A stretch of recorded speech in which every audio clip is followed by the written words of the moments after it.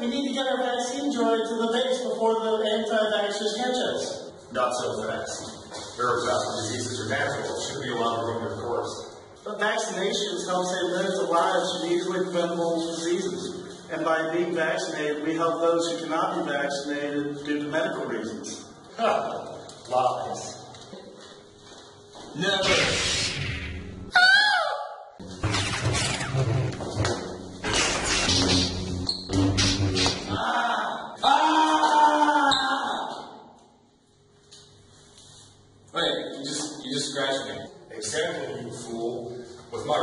Rust saver, the perfect environment to harbor anaerobic bacteria, I have poisoned your blood with clostridiums. Soon, I will be able to control you with the force. No! You may be wondering, what are Clostridiums and why are they harmful? Clostridiums, in this case Clostridium tetani, are gram-positive anaerobic bacteria. While they are growing, they have several flagella. This stage is where they produce the toxic protein titanospasmin. Once mature, the flagella fall off to make room for a spore. These spores are capable of surviving oxygen and other environmental extremes and remain in the spore phase until anaerobic conditions, such as a healing wound, allow for germination. Once germinated, the spores mature and begin releasing titanospasmin. Titanospasmin is the second deadliest toxin in the galaxy, with only its cousin botulinum having more potency. Approximately 175 nanograms can kill a 154 pound humanoid. Titanospasmin is a rather large protein with a total mass of 150 kilodaltons. The 50 kilodalton light chain is responsible for the toxicity of the molecule, which we'll talk about later. The 100 kilodalton heavy chain is responsible for binding to axonal membranes. The heavy chain can be broken into two subunits, HN and HC.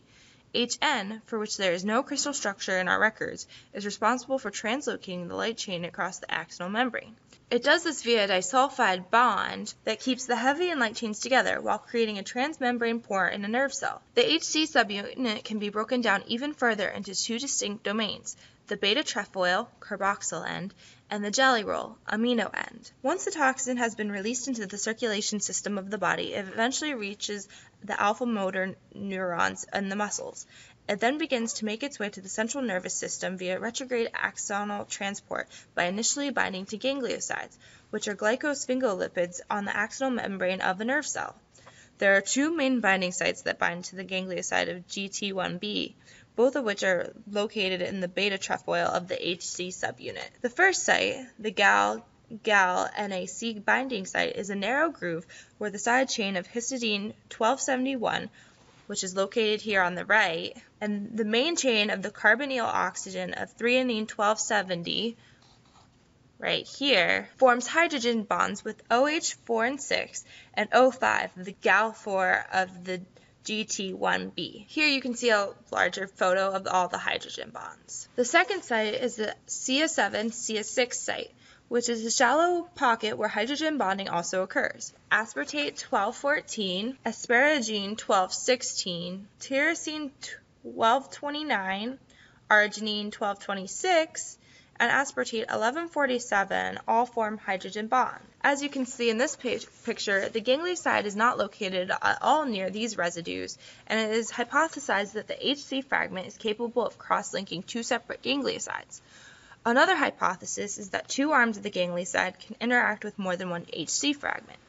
Either way, this increases the uptake of tetanospasmin, putting Luke in more harm the longer the tetanospasmin is in his system.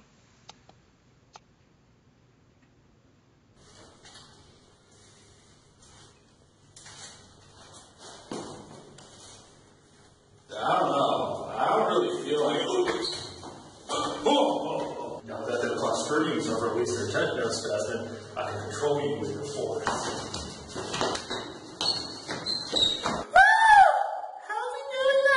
Once the tetanospasmin has reached the CNS, the light chain begins to go to work.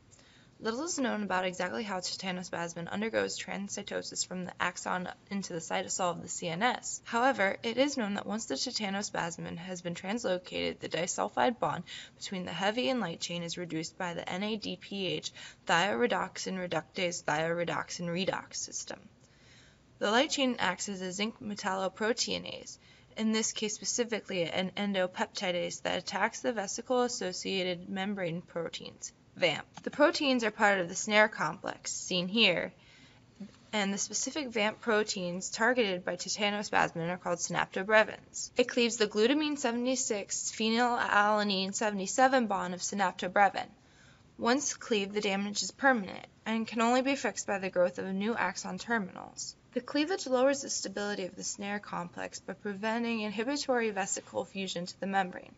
These vesicles contain neurotransmitters that stop the contraction of the nerves, such as glycine and GABA. The nerves become excited, but have no way to return to a low energy state. This is what causes the characteristic spasms of tetanus. Help us, DTP3O. You're our only hope. Beep boop. Beep beep beep boop. Beep beep beep boop. Beep boop boop. Beep boop. Boop beep. Beep boop.